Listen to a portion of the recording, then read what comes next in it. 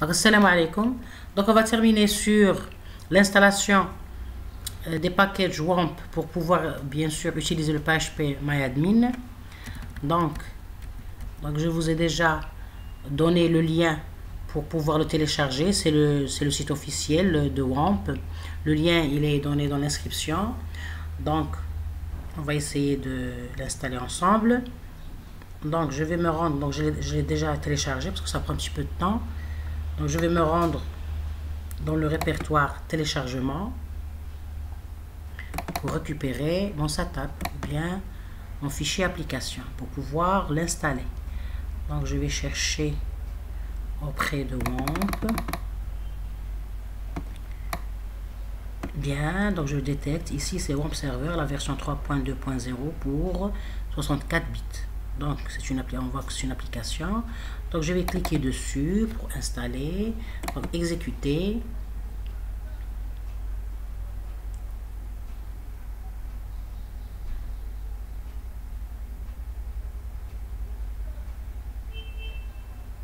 Ça prend un petit peu de temps. Bien, donc euh, oui, voulez-vous autoriser le programme suivant provenant d'un éditeur Parce que je téléchargé. Euh... Ah oui, je vais choisir la langue euh, français pour mon installation. On peut, changer de langue. Donc, je comprends et j'accepte le, le terme du contrat de licence suivant. Euh, oui, suivant, c'est important de les lire avant de les de continuer bien. Donc, suivant comme quoi je l'ai lu.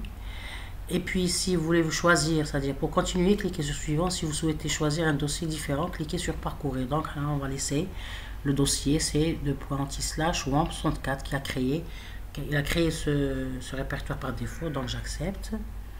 Je pouvais le changer. Suivant. Donc, je vais euh, cliquer directement sur suivant sans, sans rentrer dans le détail. Et puis, euh, suivant et je lance l'installation. Bien. Donc il commence à m'installer mon WAMP server 64 3.2.0. Bien. Donc en attendant qu'il finisse son installation, on va faire un petit rappel sur ce WAMP. Donc pour pouvoir utiliser le PHP admin pour créer des bases de données et les gérer bien sûr avec le SQL, il faut télécharger le WAMP. Donc WAMP c'est quoi? WAMP, c'est sur le plan nomination, euh, à dire le W, le A, le M et le P, c'est des, des abréviations. Donc ces acronymes, qu'est-ce qu'ils euh, indiquent? Donc le W, c'est le système d'exploitation Windows. Le A, c'est Apache, c'est un serveur web. M, c'est acronyme de base de données MySQL. Et P, c'est acronyme de langage PHP. Bien? Puis XAMPP, c'est acronyme de X, c'est tout système, tout type de système d'exploitation, donc c'est plus vaste, c'est plus euh, vaste que WAMP. Donc, euh, parce qu'on peut utiliser le LAMP, c'est-à-dire à, la place de W, il y a le L, si on utilise le système d'exploitation Linux. Donc, XAMPP, c'est acronyme X, c'est tout système d'exploitation. A, c'est toujours Apache serveur web. Et puis M, c'est toujours base de données MySQL. Et ici, P, c'est acronyme de PHP et aussi de PER. Donc, on a ici deux langages euh, de programmation, le PHP et le PER. Donc, XAMPP et WAMP Server sont tous les deux des packages gratuits de WAMP. Donc, leurs différences sont dans le format et la structure du package, les configurations et les applications de gestion qui sont incluses. Donc, c'est selon le besoin du programmeur, il choisit la version à télécharger. Bien. Donc, en bref, XAMPP supporte plus de systèmes d'exploitation et inclut plus de fonctionnalités bien. Donc, c'est euh, c'est-à-dire c'est le, côté euh, abréviation. Et puis, pour pouvoir le télécharger, bien sûr, je vous cite ce lien. Donc, le PHP, c'est-à-dire dans le but d'utiliser le PHP euh, MyAdmin, parce que je voudrais créer une base de données et je vais la structurer de telle façon à pouvoir récupérer les données pour pouvoir tracer mon graphe. Parce que cette vidéo rentre dans la série de vidéos qui a comme thème la, création, bien le traçage d'un graphe et sa gestion avec des algorithmes, bien sûr en récupérant les données du graphe à partir d'une base de données. Je vous rappelle, que j'ai déjà lancé dans une autre vidéo, qu'on a trois façons pour récupérer les données pour pouvoir tracer un graphe. C'est ou bien à partir d'une base de données, ou bien à partir d'un fichier ASCII, ou bien à partir du clavier directement. Donc ce PHPMyAdmin, qui est une application de WAMP, a une interface qui va nous permettre de créer et de gérer nos bases de données relationnelles MySQL. Bien. Donc on va voir notre installation où est-ce qu'elle est. Bien. Donc voulez-vous choisir notre navigateur déjà installé sur votre système? Donc il y a le, e-explorer.x qui est choisi comme navigateur euh, par défaut. On peut toujours le changer. Par exemple, on peut utiliser Google Chrome ou autre. Mais moi, je vais laisser ce navigateur choisi par défaut. Bien. Et puis, donc, je vais ouvrir l'Explorer. Donc, il y a aussi le notepad.x, c'est-à-dire c'est un bloc-notes, c'est un éditeur de texte qui est toujours choisi par défaut. Parce qu'il faut l'installer par le fait qu'on peut euh, changer. C'est-à-dire on peut ouvrir les fichiers euh, de WAMP pour pouvoir changer les configurations ou bien les adapter selon euh, notre environnement.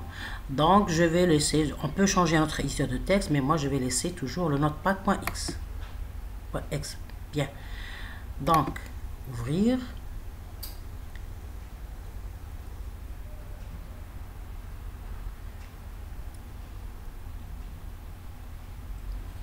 Il est en train toujours de terminer l'installation.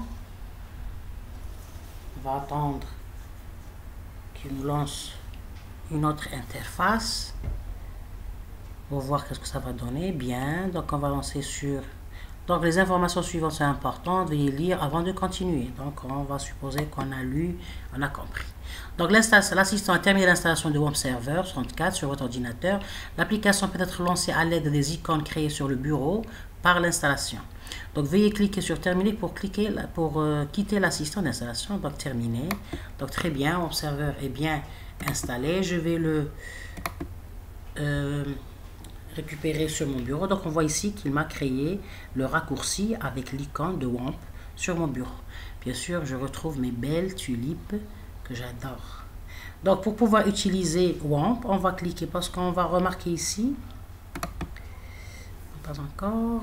Bien. Donc je vais cliquer sur le raccourci comme indiqué pour pouvoir utiliser WAMP. Bien. Donc J'attends qu'il termine.